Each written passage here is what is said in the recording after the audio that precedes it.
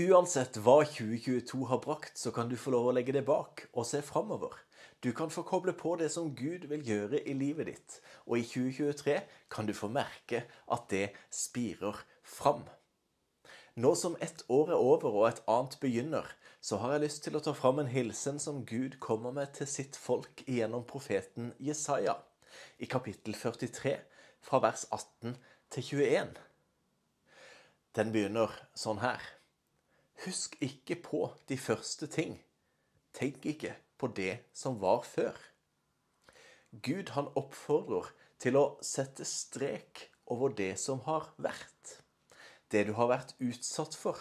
Det som du kunne ha samla på og latt bli til en bitter rot som kunne ha vokst i livet ditt. Det kan du i stedet få lov til å sette strek over. I praksis så er det dette som er å tilgi dine skyldnere. Tilgivelsen, det er den streken du setter over gjeldsbrevet ditt, der hvor alt de har gjort mot deg, står lista opp. Å sette strek frigjør deg, så du ikke lenger trenger å tenke på det som var før. Du kan også få lov til å legge bak deg din egen skyld. Det som tynger din egen samvittighet, det kan du få lov å slippe å fortsette å tynges av. For Hans nåde er ny hver morgen, og Hans miskunnhet tar aldri slutt. I Det nye testamentet så sier Paulus, som i et slags ekko av de ordene som kom fra Herren til Jesaja ca. 700 år tidligere. Han sier, 'Jeg glemmer det som er bak, og strekker meg ut etter det som ligger foran.' 'Jeg jager mot målet, mot den seierspris som Gud fra det høye kalte oss til i Kristus Jesus. Målet med å glemme det som ligger bak, det er å være fri til å strekke seg mot det som ligger foran. Hilsenen ifra Herren til Jesaja den fortsetter sånn her. Se, jeg gjør noe nytt. Nå skal det spire fram. Merker dere det ikke? Gud, som kalles for livets kilde, han har alltid noe nytt på gang som han lar spire fram i livet ditt. Når han spør om ikke vi merker det, så tror jeg at han poengterer at det ikke er noen automatikk i det at hans barn får med seg hva han gjør i deres liv.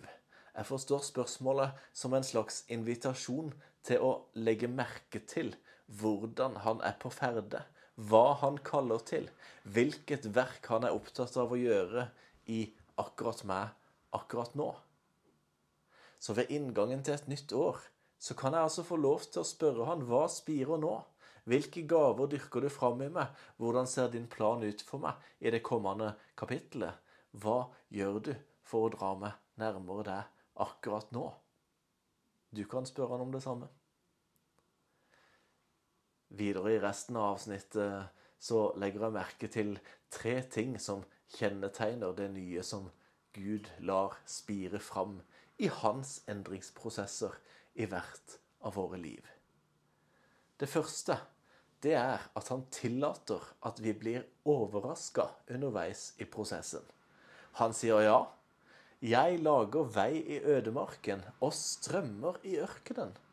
Villdyr på marken skal ære meg, også sjakalen og strutsen, fordi jeg gir vann i ødemarken og strømmer i ørkenen.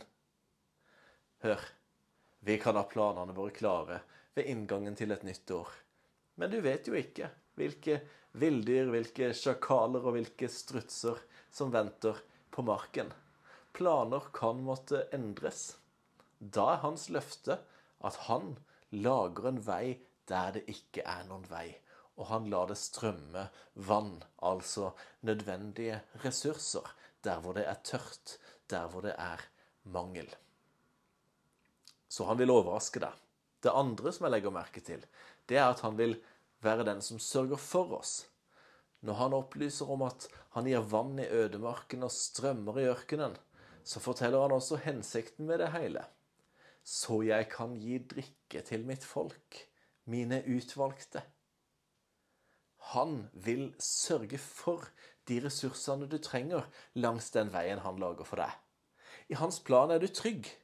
Selv i dyrtid og i en urolig verdenssituasjon, så sier han til deg at han sørger for deg. Han vil gi drikke til sitt folk. Den som tørster, får komme til han og drikke. Og den som drikker av det vannet som han gir, skal aldri i evighet tørste. For han vil ta vare på deg både i tid og evighet. Så han vil forsørge deg. Det tredje som jeg legger merke til, det er at hensikten med det han gjør i livet ditt, det er at livet ditt skal få bringe ære til han. Han sier 'dette folket har jeg formet for meg', de skal forkynne min pris. Når han lar sine endringsprosesser spire frem i deg, så er det for at ditt liv skal forkynne hans pris, altså bringe ære til han. Jeg tror det er dette Paulus er inne på når han 700 år seinere sier at det som ingenting er i denne verden, det utvalgte Gud seg. Og når han sier at det er når han er svak at han er sterk, fordi Guds kraft fullendes i hans svakhet. Hør, legger du livet ditt i Guds hender og gir det til Han, da vil Han la noe nytt spire fram i deg. Du kan bli overraska, men du vil være trygt forsørga av han. Og før du vet ordet av det, så legger mennesker rundt deg merke til at han har satt sitt preg på livet ditt. Og du får lov til å være med og bringe ære til han. Godt nytt år.